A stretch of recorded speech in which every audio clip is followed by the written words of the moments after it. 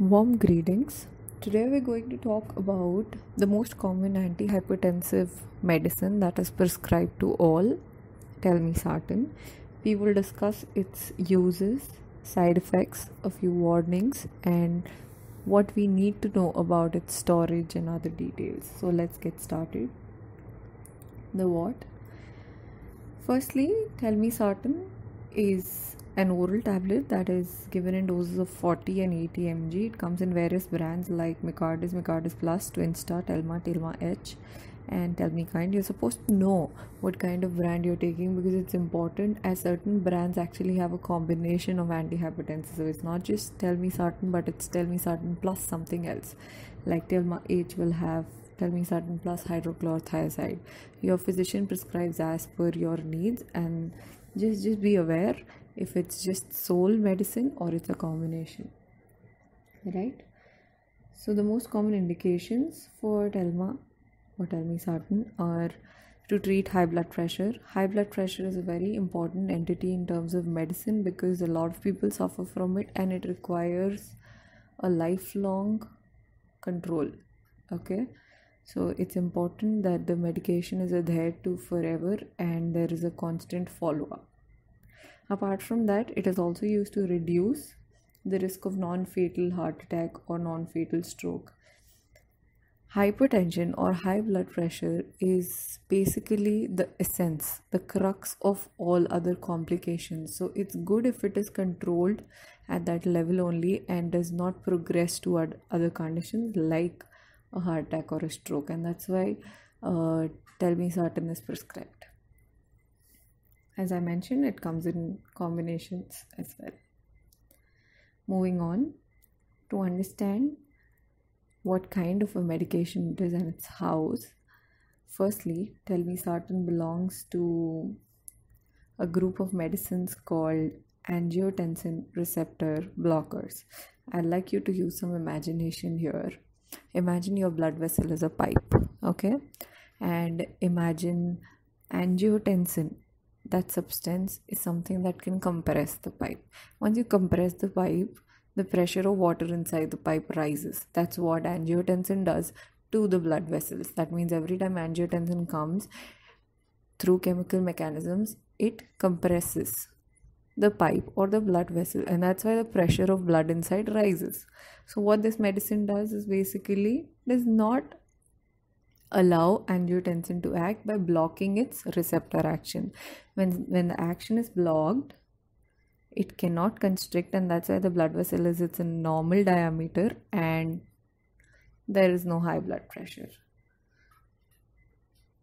How to take? Telmisartan is supposed to be taken as prescribed without any doubt.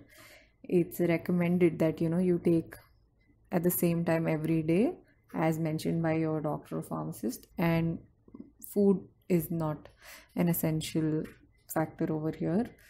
Just one thing do not stop taking your medicine before informing your doctor or any other healthcare professional. It is absolutely essential that you continue this medicine until told otherwise okay? How do you store it? It's actually a hygrophobic substance so you have to keep it away from moisture. That's just one thing you're supposed to know. It is packaged like that also. So just keep it at room temperature and open it every time you just have to take it like one minute before. Right? How about a miss a dose? If you miss a dose just carry on with the next one at the usual times and do not double the dose. Lastly if you have an accidental overdose, it's important you contact a healthcare professional irrespective of the symptoms you are facing. Okay? Moving on, we will now discuss the side effects that are possibly there.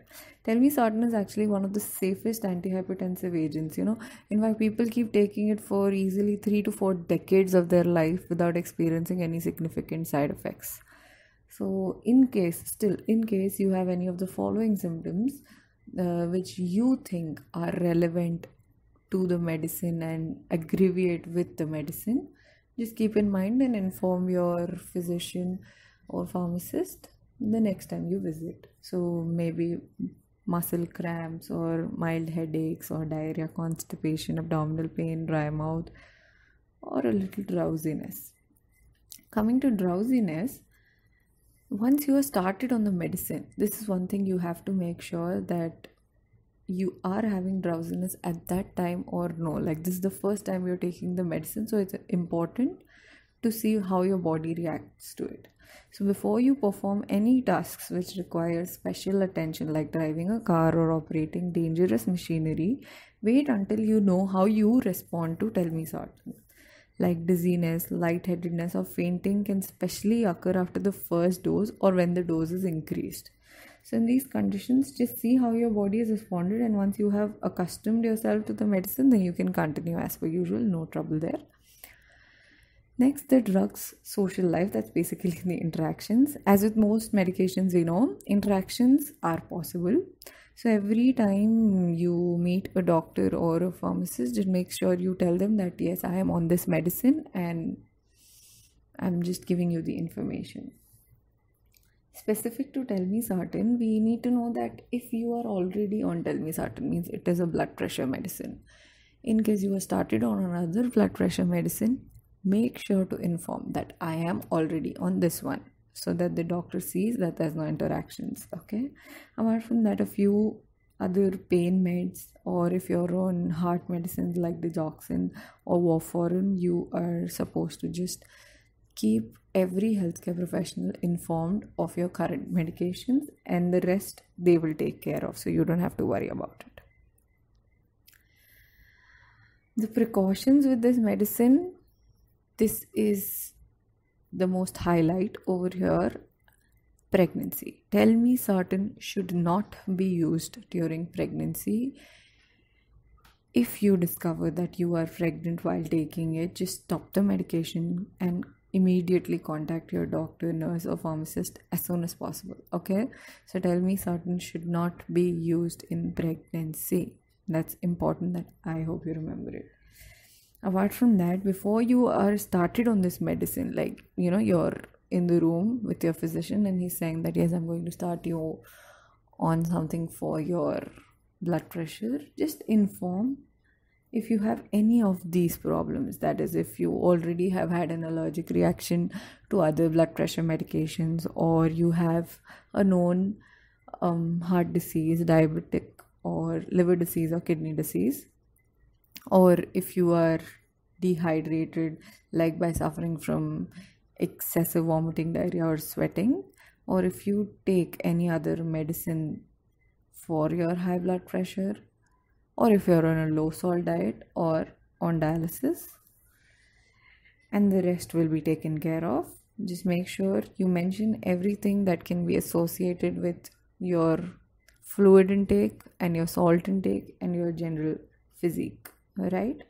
The last point the nub to take away from this session is this medicine does not cure your disease. It will not cure hypertension. There's no such thing as cure for hypertension. It only helps to control it and that's why you're supposed to take it daily.